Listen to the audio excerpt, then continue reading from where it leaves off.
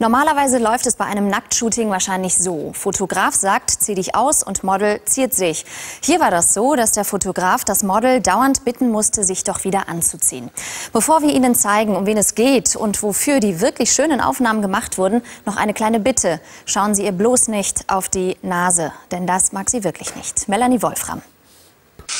Kennen Sie das noch? Das Spiel Was bin ich? Herzlich willkommen bei Was bin ich? In diesem Fall ist es zugegebenermaßen recht einfach mitzuraten. Und eigentlich geht es auch eher um die Frage, wer bin ich? Mir macht es total viel Spaß, meine Brüste zu zeigen. Ich bin ordinär. Ich kann ja viele Sachen nicht und tue sie trotzdem. Na gut, so schwer war das jetzt nicht. Denn Michaela Schäfer ist wohl hierzulande die einzige, die sich schneller auszieht, als man raten kann. Kein Wunder also, dass die noch 28-Jährige und ein Magazin wie Penthouse quasi zwangsläufig zueinander kommen müssen. Doch fangen wir mal von vorne an. Wir sind in Italien, genauer gesagt in Luano. Eigentlich geht es hier ganz beschaulich zu. Eigentlich, denn das Team der Zeitschrift Penthouse hat hier ein Aktfotoshooting mit Michaela Schäfer geplant. Ja, aber sehr viel Stoff, ne? Ja, ja. Aber wir fangen mal mit Stoff an und dann werden wir das irgendwie ändern. Ne? So. Gibt es denn im Magazin auch Stoff? Äh Manchmal schon, ja. Ja? Das erste Bild, das ich Immer das erste ja, Bild. Ist immer mit Stoff? Ja, immer mit. Kann sein, stört nicht. Also. Wir wollen ja eine Spannung aufbauen. Zumindest ist jetzt schon klar, für Michaela Schäfer kann es offensichtlich nicht nackt genug sein. Es ist natürlich heute äh, klar auch ein Aktshooting, ja, für, für ein großes äh, Männermagazin, klar. Und, ähm, aber Männer mögen natürlich auch Dessous und muss eine Spannung aufgebaut werden. Deswegen trage ich auch gerne für ein, zwei Motive Dessous. Aber ich bin halt einfach ein Mensch, der sich sehr gerne nackig präsentiert und äh, sich natürlich auch am wohlsten dann nackt fühlt. Also ich habe überhaupt kein Problem vor der Kamera nackt zu posieren und äh, da rumzurennen ist doch eigentlich toll. Ne? Um 9 Uhr in der Früh soll es losgehen. Nun gibt es nur noch ein Problem. Nein, das Problem ist nicht etwa die Scham des Models, sich zu schnell zu entblößen, sondern es fehlt noch Kameraequipment.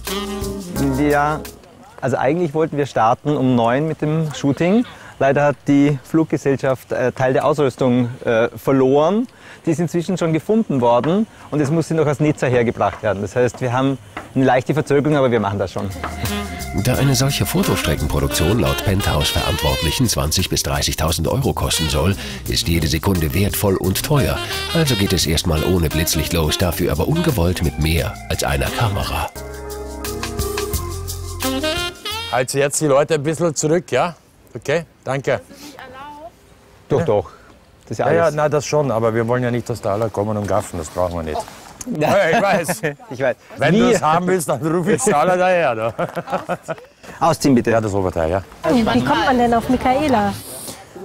Äh, Wir beobachten halt eben den Markt, wer zurzeit in ist, wer gefragt ist, was läuft. Ähm, versuchen dann halt eben verschiedene Models anzufragen. Eine sagen zu, die anderen lassen dich warten, je nachdem halt, ja. Wir müssen natürlich auch nehmen, was wir gerade zu bekommen, halt eben, was auf dem Markt aktuell ist halt. Ne? Für das Covershooting werden knapp 800 Fotos gemacht. Übrig bleibt fürs Heft lediglich eine Strecke von acht Seiten. Die müssen dann aber perfekt sein. Also selbstverständlich muss man bei mir auch was nachbearbeiten. Ja, ich gehe auf die 30 zu und ich bin ja auch eine ganz normale Frau, wie jede andere, habe meine Problemzonen. Und klar muss man da so ein bisschen was machen. Ja? Aber ähm, es soll trotzdem noch natürlich aussehen. Also ich will eigentlich nicht, dass dann so eine glatte Schicht drüber gemacht wird, weil dann sieht es natürlich jeder. Aber logisch muss man hier ein bisschen nachbearbeiten. Ist auch nicht mehr alles so mega straff, ne? Du hast sie auch gesehen, Martin. Du bist nur ein Charmeur. Aber Im Kopf wirklich- retuschierst du doch wirklich- schon. Wirklich. Die Michaela ist ein wunder, wunderhübsches Mädchen. Ja, total nett und hübsch und gut im Posing. Also ein Traummodell für jeden Fotografen. Ja, ja, wer sich immer ganz nackig macht, der kann halt nur schwer was verstecken. Sind da meine Lippen voller als ihr Schlauchboot. Sieht man eigentlich, dass ich mir die Lippen hab aufspritzen lassen? Scheiße, echt?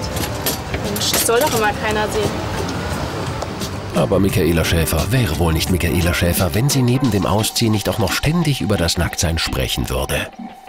Schön einmassieren, Sandra. Oh.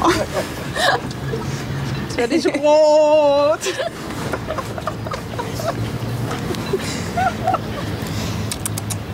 Und wie fühlt sich Silikon an? Hart. Was? Na, fest. Ach so. Fest. Ja, die Nippel sind auch schon steif, du machst es gut. Ich höre jetzt auf. So. Die Stimmung am Set ist auf jeden Fall gut. Mittags gibt es für die einen sogar etwas mehr, für die anderen etwas weniger zu essen. Der Koffer kommt mit einem halben Tag Verspätung dann auch noch an. Und so geht es weiter mit dem Aktshooting in dem kleinen italienischen Hafen. Die einzige Frage, die sich wohl jeder, an dem ans Nacktsein gewöhnte Set stellt, warum zieht sich Michaela zwar ohne Probleme aus, aber beim besten Willen und auch nach Aufforderung nicht einfach wieder an? Anziehen. Kannst du dich anziehen? Nö. okay, alles gut. Alles schön braun. Hm. Also ich muss mir erstmal anziehen. So. Jetzt. Und so geht der erste Tag mit viel nackter Haut und viel PS langsam zu Ende. Und wer jetzt denkt, so ein Penthouse-Shooting ist ja mal wirklich schnell verdientes, leichtes Geld, der wird nun eines Besseren belehrt. Ich musste heute um 4 Uhr aufstehen, ja, in die Maske. Und äh, ja, jetzt haben wir es so 7 Uhr oder halb 7 und es ist wirklich, das geht schon an die Grenzen. Also ich kriege die Augen kaum auf und weiß gar nicht, wie ich jetzt geil gucken soll. wir machen das, wir ziehen das durch, wir machen unsere Bilder und dann gehen wir zurück zum Frühstück. Und das Gute ist, dass bei Aktfotos gucken ja die Männer meist eh auf das. Das fällt denen gar nicht auf. Und so ein müder Blick ist ja auch erotisch, ne?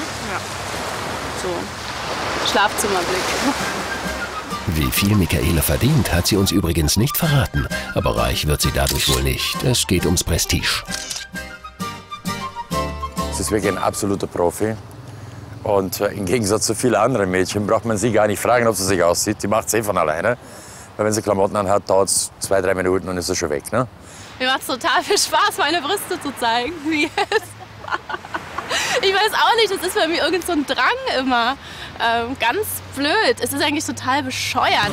Apropos bescheuert. Nach diversen Nasen-, Brust- und Kinnoperationen ist das auf die 30 Jahre zugehende Nacktmodell immer noch nicht ganz mit sich und ihrem Körper im Reinen. Ich bin nicht zufrieden mit meinem Körper, also vor allen Dingen mit meiner Nase nicht. Ich finde die zu breit, eindeutig. Und äh, natürlich, klar, Schenkel könnten fester sein, der Po könnte fester sein und der Bauch. Die meisten Männer gucken jetzt zum Glück auch nicht auf meine Nase. Also noch keiner hat irgendwie meine Nase bemängelt. Eher meine Brüste, dass viele Männer sagen, ah, die sind zu unnatürlich und äh, weiß ich, was die da immer erzählen. Naja. Aber anfassen will sie immer jeder.